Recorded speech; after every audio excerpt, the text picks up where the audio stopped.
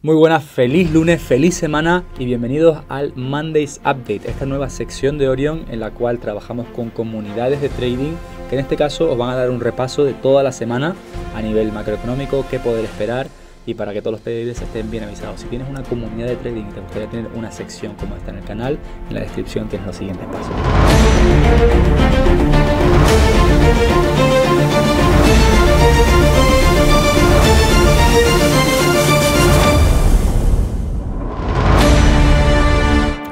Bienvenidos a este Mondays Update por parte de Orion con Elite Trading. En el vídeo de hoy vamos a ver las noticias que tenemos para esta semana, los eventos más importantes que podremos encontrar a lo largo de esta semana y sobre todo qué dirección podríamos encontrar en el precio en los gráficos. Como ya bien sabéis, venimos de unas semanas un poco volátiles, hemos tenido elecciones presidenciales en Estados Unidos,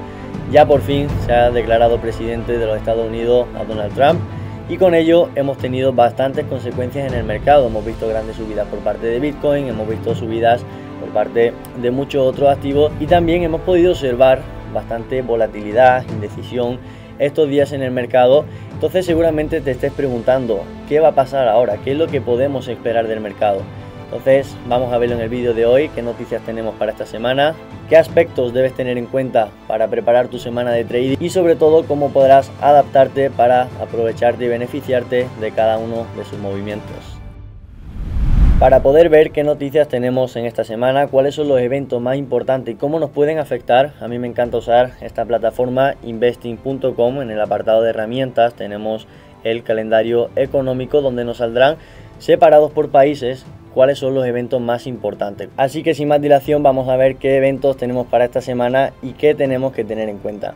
Empezando por el lunes, hoy día 18 de noviembre de 2024, vemos que no hemos tenido ninguna noticia de alto impacto y aquí quiero que tengáis en cuenta un pequeño matiz, por ejemplo hoy a las 7 y media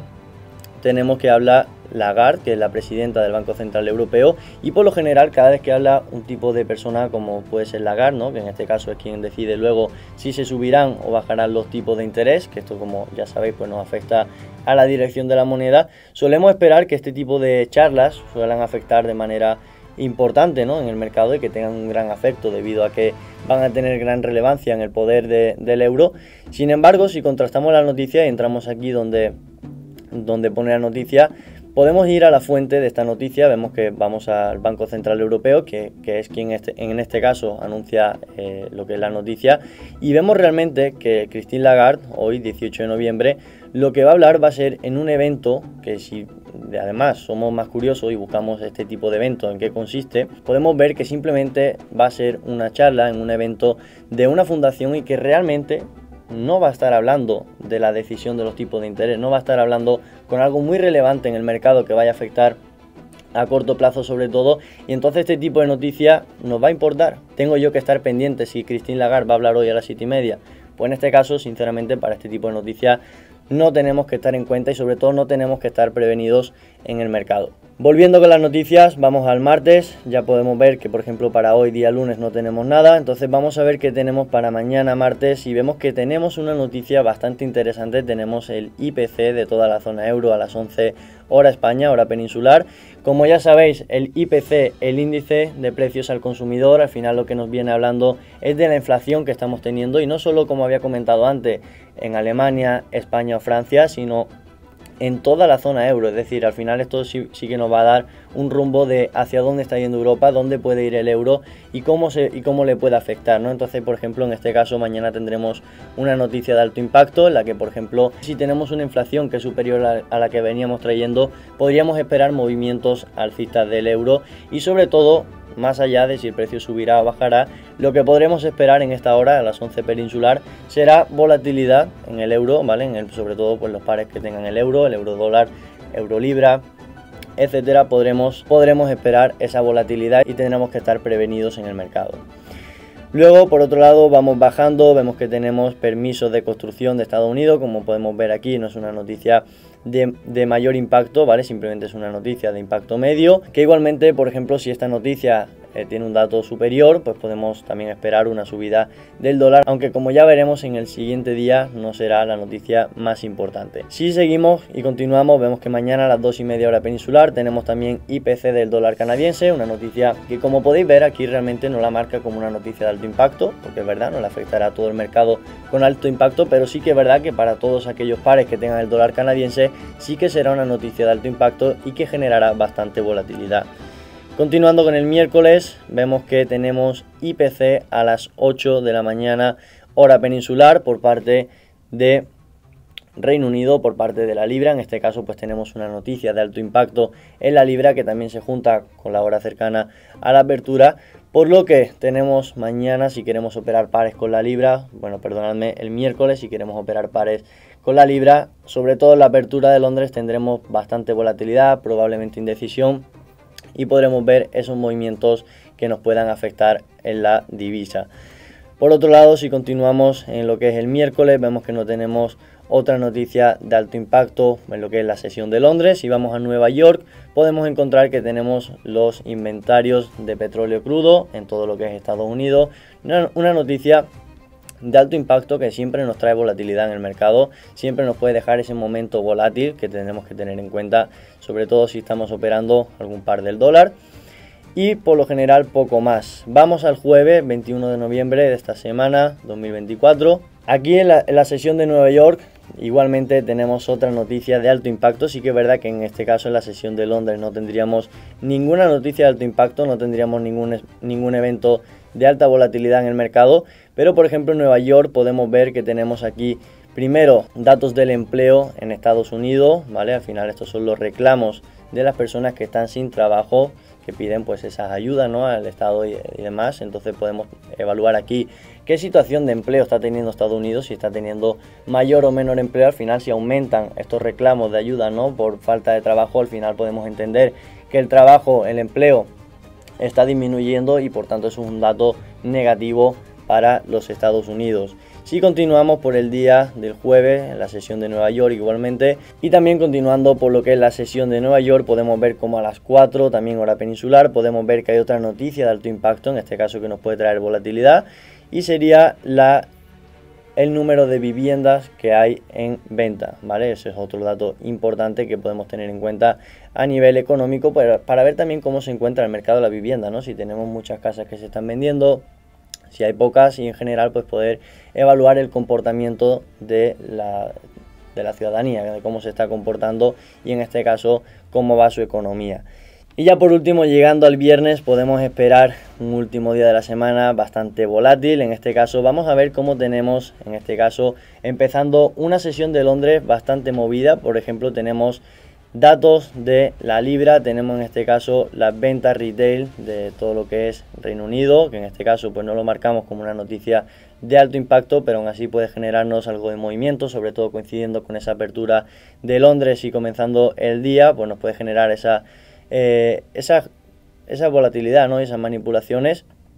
y si nos fijamos en lo que es el euro, fijaos aquí cómo tenemos repartida por toda la sesión de Londres distintas noticias, pero tenemos que tener en cuenta que son noticias aisladas de países que tenemos en lo que engloba al euro. Como ya sabemos, el euro está compuesto por distintos países y en este caso cada, cada uno de esos países pues también tiene sus noticias importantes. Por ejemplo, vemos que tenemos el Producto Interior Bruto de Alemania, tenemos el PMI de Francia, tenemos el PMI de Alemania, también tenemos el PMI de la zona euro. Entonces aquí, ¿qué esperamos en este momento? ¿no? Donde tenemos una sesión de Londres tan repartida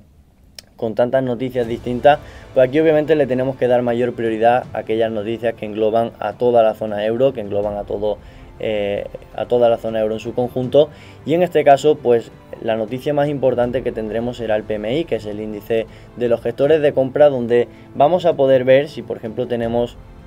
un dato por encima de 50, podríamos eh, entender ¿no? que estamos en una etapa expansiva y conforme estos datos suben, si por ejemplo tenemos un PMI que es mayor al anterior, al final es un dato positivo, es que está habiendo mayor movimiento económico y por tanto podríamos esperar subida del euro. ¿Vale? Obviamente igualmente también tenemos que tener en cuenta lo que son las noticias aisladas, pero sin darle la misma importancia tenemos que rebajarle ese nivel de importancia y entender que son datos aislados que nos pueden generar quizá un poco de movimiento en esa hora concreta en la sesión, pero sobre todo vamos a tener en cuenta y vamos a prestar atención a estos datos que tenemos de toda la zona euro.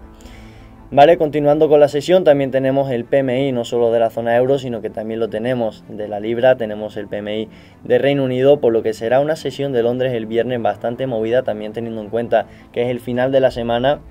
y ya sabéis que el, final de la semana pues suele tener también esa volatilidad ¿no? para, para acabar el cierre semanal. Y también si continuamos, no solo la sesión de Londres será movida, sino que también podemos ver cómo en la sesión de Nueva York también tenemos el PMI, el, de nuevo el índice de, los gestores de compra, pero ahora por parte de Estados Unidos podemos ver si también estarán expandiendo o contrayendo en este caso su economía y cómo le afectará al par, ¿no? Para al final igualmente si vemos que tenemos unos datos mayores que están en aumento, podremos esperar un aumento también de la divisa.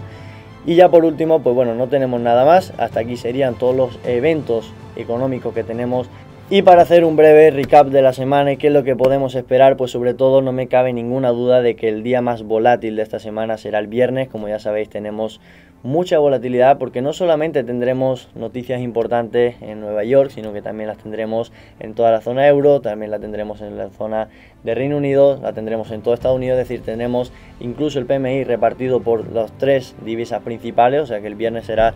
el momento de más volatilidad y además también acabando la semana con esa indecisión de cómo cerrará la vela semanal, pues quizá podamos ver la mayor volatilidad. Por ejemplo, hoy lunes podríamos ver en el mercado esos movimientos más lentos, ¿no? De no tanta decisión, quizá también al empezar la semana pues no tenemos todavía la dirección clara semanal y tener en cuenta sobre todo que estamos comenzando esos movimientos sin tanta volatilidad, sin tanta y sin tanto volumen pero podremos cada vez conforme vayamos avanzando en la semana ir viendo cada vez mayor volatilidad, mayor volumen hasta acabar por último el viernes con una situación bastante más volátil e indecisa. Y por último, para terminar, vamos a ver qué movimientos o qué dirección podríamos esperar en Forex esta semana, ¿no? en nuestros pares que nosotros operamos, sobre todo teniendo en cuenta el DXY. Como ya sabéis, es el índice del dólar. Al final, lo que haga el dólar se va a ver repercutido en el resto de pares. Por ejemplo, si vemos que el, dólar va a subir, podríamos esperar bajadas del euro y viceversa, ¿no? Y sobre todo, por ejemplo, no solo para el euro, sino también para la libra y todos los pares. Entonces,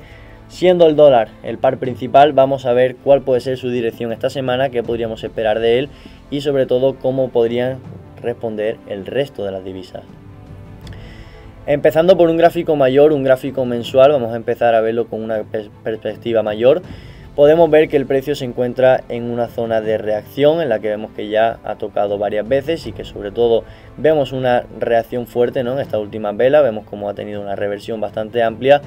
lo que hace pensar que si el precio está teniendo esta reacción fuerte, como mínimo vaya a dirigirse a por el máximo anterior que tenemos aquí, bien sea para romperlo y continuar a por su siguiente punto objetivo, o bien para romperlo, hacer un fake out y luego caer. Este sería su siguiente punto objetivo. Entonces, en respecto a un gráfico mensual, pues tendríamos una dirección alcista, pero que como bien sabemos, al final no nos va a generar la mayor certeza ni la mayor fiabilidad, ya que es un gráfico muy grande y si vamos, por ejemplo, a un gráfico semanal, de nuevo vamos a ver, por ejemplo, que hemos tomado lo que es el mínimo, el máximo anterior, en este caso en una estructura semanal, vemos como el precio ahora mismo justo está rompiendo el máximo anterior, lo que aquí podríamos ver esos movimientos para continuar hasta el siguiente punto, bien directamente o bien primero con un retroceso, que vamos a ver en una temporalidad más baja, a ver si primero el precio tiene algún punto que podría mitigar para luego continuar subiendo, ¿no? Y sí que es verdad que vemos un impulso alcista bastante fuerte con el que el precio podría eh, acabar teniendo un retroceso bastante profundo, ¿no? En este caso al final venimos de un impulso muy vertical, que el precio podría empezar a retroceder para equilibrar un poco el mercado. Si lo vemos desde un gráfico diario, sí que es verdad que tenemos una tendencia pues demasiado vertical, como comento, no hay una estructura muy clara, ¿no? En la que comentemos, en la que el precio pueda tener un retroceso eh, con mayor precisión, pero por ejemplo podemos ver puntos de interés que están generándose por esta zona en la que por ejemplo justo también acabamos de mitigar y sobre todo estando al comienzo de esta semana, hoy lunes, en lo que no tenemos todavía la dirección muy clara, sí que es verdad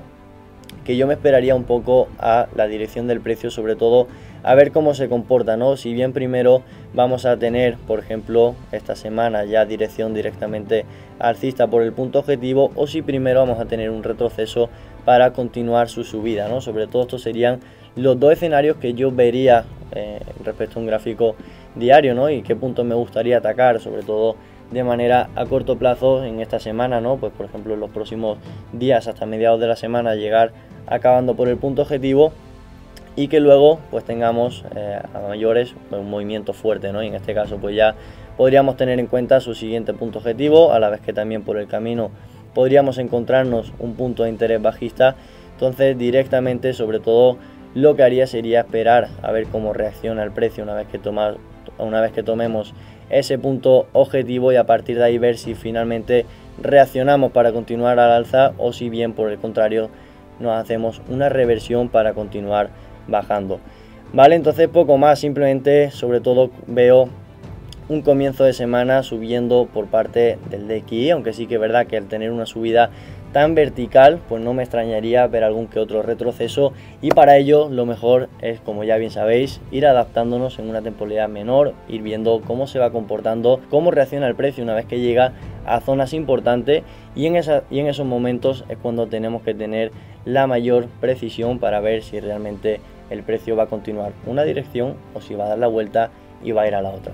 Así que chicos, espero que os haya gustado este Mondays Update, sobre todo que tengáis ya previsto cuál será vuestro plan para esta semana. Si por ejemplo ya tenéis establecido qué días son los que queréis operar, qué días son los que no queréis operar, cómo vais a gestionar el riesgo en vuestras operaciones, que os recomiendo que lo tengáis claro desde el principio.